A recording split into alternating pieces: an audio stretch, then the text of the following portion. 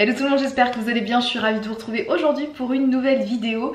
Et aujourd'hui ce sera un petit vlog, euh, voilà j'avais envie de, filmer un vlog aujourd'hui. Donc comme vous pouvez voir là je suis à ma coiffeuse, je vais euh, commencer à me préparer vite fait, il est déjà midi, euh, midi bien passé donc voilà il faut que je me prépare vite fait parce que cet après-midi je vais chez le coiffeur parce que comme vous pouvez voir mes cheveux commencent à être très très longs et donc je me suis dit ce serait peut-être pas mal que je les coupe euh, que je découpe avant l'accouchement parce que je sais plus trop comment les mettre, enfin ils ressemblent plus trop plus trop à grand chose. Donc euh, voilà je me suis dit allez petit tour chez le coiffeur. Par contre pour mes mèches je les referai, euh, enfin voilà ma couleur je, les referai, je la referai qu'après qu'après la grossesse je préfère, je préfère attendre que la grossesse soit, soit passée avant de mettre voilà avant d'utiliser des produits des produits colorants. Il y avait plusieurs qui m'avaient demandé si on pouvait continuer à faire ces mèches etc pendant la grossesse. Je vous avoue que j'ai pas de j'ai pas de recommandations claires et nettes à vous donner. Euh, j'ai pas de j'ai pas d'études qui voilà précisément qui ont montré qu'il fallait euh, absolument interdire les, les, mèches ou les couleurs avec les produits, bah forcément les produits de coiffeur euh, pendant la grossesse. Voilà, il y a un petit peu voilà, deux, discours, moi par précaution j'ai envie de dire, et dans le sens où les mèches c'est pas non plus c'est pas non plus obligatoire à ma vie donc ça peut attendre ça peut attendre 9 mois. J'ai pris le parti de voilà laisser mes cheveux pousser euh, au moins voilà ça, ça permet aussi de, les laisser tranquilles pendant quelques mois et puis euh, on verra on verra les mèches plus tard euh, après après par contre il faut vraiment que j'aille les, entretenir pour, la coupe parce que là ils ressemblent vraiment ils ressemblent vraiment plus à rien. Donc je vais me maquiller alors vraiment rapidement. Il fait super beau aujourd'hui donc ça c'est super cool là comme il fait beau avant de me maquiller je vais mettre une protection solaire et du coup j'en profite pour vous pour vous en parler hors grossesse c'est vrai que je ne prête pas forcément beaucoup d'attention aux, euh, aux, protections solaires visage, mais là avec la grossesse, c'est vrai qu'il faut essayer de faire attention. Et euh, je, vous avais parlé de celle-ci que j'utilisais, la Delily, la crème radieuse rituel solaire. Je crois que je l'avais, je sais plus, dans, dans, ma routine soin, je crois, grossesse. Je vous en avais parlé, elle est très très bien, elle sent le popcorn, elle est, super bien. Et, euh, et franchement, voilà, je peux vraiment vous la conseiller, même si vous n'êtes pas enceinte. Ben, voilà, ce qui est fait pour femme enceinte peut être aussi fait pour femme avec une peau plus sensible ou quoi que ce soit. Enfin vraiment, donc ça vraiment très très bien. Mais j'ai reçu une autre crème il y a une semaine ou deux je crois celle-ci de la marque Omom. Euh, ma protection joli teint pareil SPF 50 donc en termes d'SPF on est sur euh, le même SPF la petite chose qu'elle a en plus celle-ci c'est qu'elle est teintée. Et franchement elle est plutôt bien. Je l'ai testé plusieurs fois et vraiment je suis super contente de ce produit. Celle-ci est vraiment très bien mais c'est vraiment purement crème, euh, crème solaire entre guillemets crème de visage solaire. Mais celle-ci ça vous donne ce côté un petit peu bébé crème vraiment. Donc moi je me dis pour l'été ça va être super pratique les jours où j'ai pas envie de me maquiller, où j'aurai pas le temps avec bébé, mais que j'ai pas envie non plus d'avoir le temps euh, cadavérique, moche et tout, mais j'ai envie d'avoir une protection solaire en même temps, et eh bah ben, ça c'est super chouette. J'avais eu l'année dernière, euh, j'utilisais la le même principe de chez Sanoflore, une crème teintée pareil euh, visage mais par contre l'SPF était de 20 je crois donc était beaucoup moins fort et j'avais adoré le principe quand j'avais été en vacances j'avais utilisé que ça. Et avec juste un chouïa d'anticerne s'il y avait besoin et c'était tout et c'était vraiment super bien. Donc ça je pense que vraiment cet été ça va être mon allié je pense pour avoir un joli teint, bonne mine avec juste un peu d'anticerne, un peu de blush ça suffira. Parce que je pense que j'aurai pas le temps de faire des make-up super super chargés. Même pour l'été quand il fait chaud vous avez que ça c'est cool. Et ça sert aussi de base de teint donc ça c'est plutôt bien parce que bah là je trouve que la couvrance c'est un petit peu légère entre guillemets. C'est à dire que ça vous unifie le teint mais c'est pas non plus, ça va pas non plus vous faire un teint euh, euh, super bien euh, camouflé si vous avez des grosses imperfections. Donc voilà, vous pouvez mettre ça juste en base de teint, donc ça c'est plutôt cool. Et ensuite mettre votre fond de teint. Donc vraiment ça c'est une super belle, découverte de la marque. J'ai testé plusieurs produits de la marque, autres, je vous en ai déjà parlé je crois sur Instagram. Mais vraiment ça c'est un coup de cœur, voilà je vous en parle vraiment parce que vraiment elle, c'est super bien. Donc hydratant, jour teinté, ma protection joli teint, vraiment bien. Donc comme vous voyez ça fait comme fond de teint mais en même c'est hyper léger. Je vais vous montrer un petit peu ce que ça donne. Ça se fond super bien, super vite.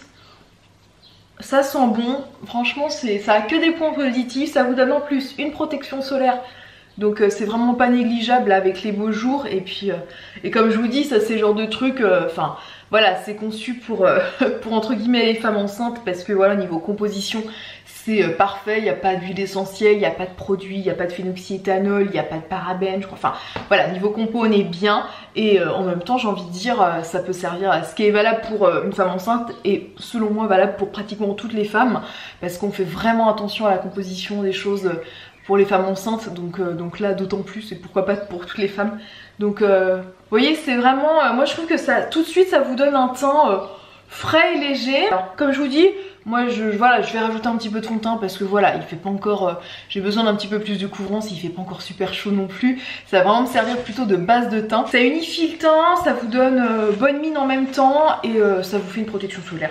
Donc vraiment c'est très cool. Écoutez, je vous retrouve tout de suite après. Je finis de maquiller, je vous reprends après. Bon, me voilà prête maquillée. Je me suis maquillée aujourd'hui avec la Naked Heat. c'est une palette que j'ai ressortie pareil et que, que j'adore. Je trouve qu'elle pour les yeux euh, verts, bleus, elle est, parfaite, celle que j'ai utilisée pour mon mariage. Je vais vous montrer euh, aujourd'hui ma tenue du jour, il fait beau en plus donc on a sorti les gambettes. Donc voilà pour la tenue du jour, donc j'ai mis une robe... Euh, c'est une robe séraphine. Et puis en dessous, vous voyez, c'est tout ça. Enfin, les deux trucs sont, sont indépendants. C'est une robe aussi d'allaitement, donc ce sera pratique pour la suite.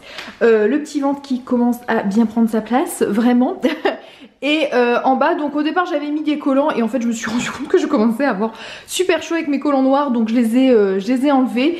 Et euh, en chaussures, bah, j'ai mis mes petites, mes petites baskets dans lesquelles je suis confortable. Donc, voilà, c'est une tenue toute simple, toute confort. Au niveau des bijoux, je, vous le redis, mais c'est toujours les mêmes. Mon petit médaillon habituel, mon bola de grossesse, la même montre, Daniel Wellington, mon alliance.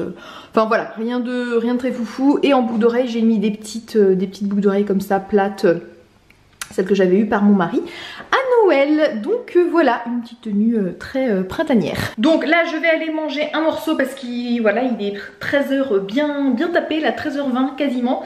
je vais aller manger et puis j'ai mon rendez-vous chez le coiffeur vers 15h30. Donc voilà, on est, dans les on est dans les temps. Et voilà, donc écoutez, je vous dis à tout à l'heure. coucou, bon là il est 14h50 quasiment, je vais pas tarder à partir pour aller chez le coiffeur. Ah, Mimicha qui passe par là. Et puis ensuite je pense que je vais aller faire quelques courses euh, et je vais commencer aussi à peut-être acheter des petites bricoles pour, euh, la valise de maternité parce que euh, bah, clairement j'ai pas du tout commencé vraiment. Pour bébé les gros trucs ont été achetés au niveau vêtements je pense que je suis bien je pense. Euh, en termes de mobilier etc euh, tout ça c'est fait. Mais c'est vrai qu'au niveau des petits produits des euh, même des choses pour moi en fait. C'est à dire que là j'ai prévu tout pour bébé quasiment mais pour moi j'ai rien en fait c'est à dire tous les trucs de maternité les vêtements de, les vêtements de maternité le pyjama pour la maternité les choses les vêtements d'allaitement les sous-vêtements d'allaitement tout ça je n'ai rien du tout donc je pense qu'il va être temps que voilà que je commence à regarder. Et puis j'ai quelques aussi, si j'ai quelques bricoles encore à bébé, à, acheter. Genre, genre par exemple la gigoteuse, je ne l'ai pas trouvée encore parce que, euh, parce que comme euh, voilà pour celles qui ne le savent pas ou celles qui le savent, euh, on ne sait pas si c'est un garçon ou une fille. Donc je cherche une gigoteuse assez neutre et je n'en trouve pas, c'est fou ça, enfin j'en trouve pas une qui me plaît, donc voilà je vais retourner faire quelques rayons, voir si j'en trouve une de, bien. Je sais que je m'aide aussi de cette liste là en fait, c'est une liste que j'ai eue chez Aubert. En fait c'est vachement bien, alors c'est un truc recto verso. Et je me dis putain quand j'ai vu le truc je me dis mais il faut tout ça. Voilà.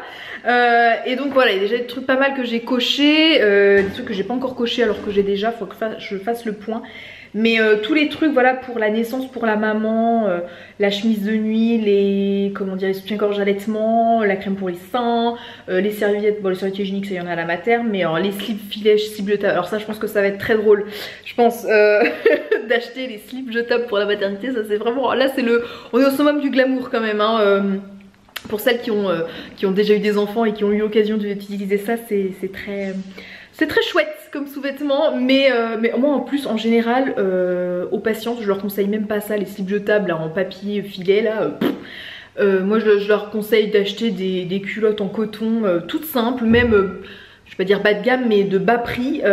Et puis voilà si par lot là vous savez par 5 ou 6 et puis quand elles se, si elles sont tachées si elles sont voilà vous les jeterez enfin ça me fiche quoi ce sera ce sera pas, elles sont pas très très chères. Donc euh, moi je pense que je vais acheter des, bonnes, euh, des bonnes culottes en coton comme ça là euh, comme j'adore vraiment. Je vais peut-être aller acheter ça aussi. Voilà. Mais, mais ça va pas. Le chat il est complètement cinglé. Non mais ça va pas il a des accès de, folie des fois. 15h quasiment.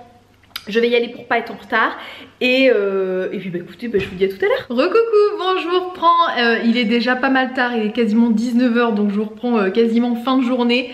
Comme vous pouvez voir je suis passée chez le coiffeur. Donc comme vous pouvez constater j'ai quand même pas mal coupé. Il m'a fait juste un carré enfin un carré long droit en fait.